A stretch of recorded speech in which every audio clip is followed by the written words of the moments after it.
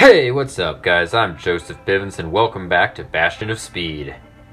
Now, this week I wanted to talk about an urgent topic in the car community.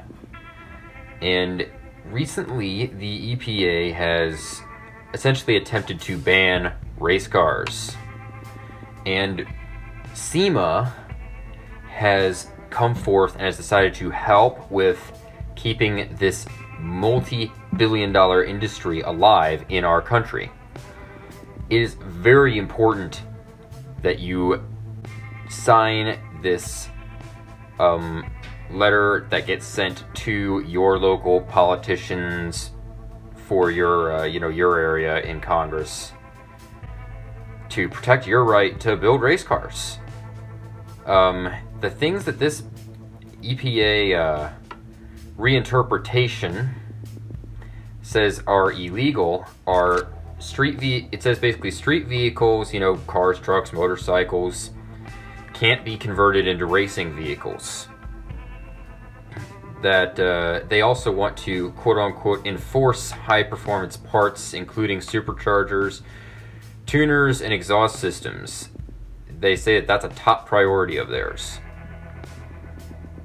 Um, just please go to the website um, that I'm putting on screen right now to take action.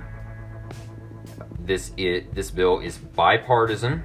It's simply to protect America's right to modify their vehicles. They have the EPA has essentially decided that race cars are the worst thing in the world and that we should all drive a Prius to work every day, or even worse, an all-electric vehicle, which would permanently kill the uh, the gasoline car. It's part of their. I'm convinced it's part of their grand plan. Um, it's an American tradition to modify vehicles. Um, car customization has been something Americans have been passionate about for decades.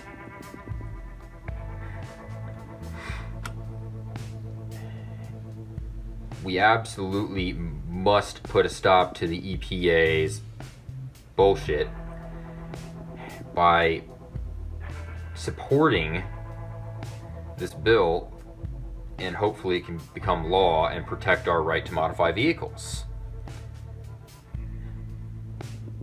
Please also share this information on social media using the hashtag Save Our Race Cars, which is also on screen at this time.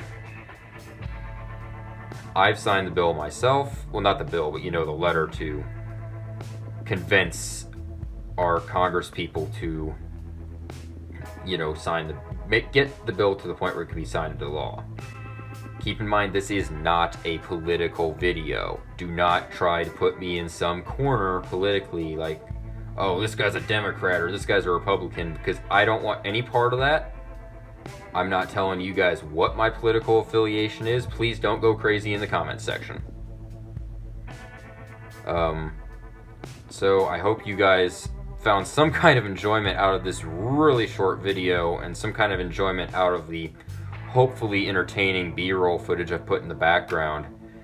And um, I hope to see you next video.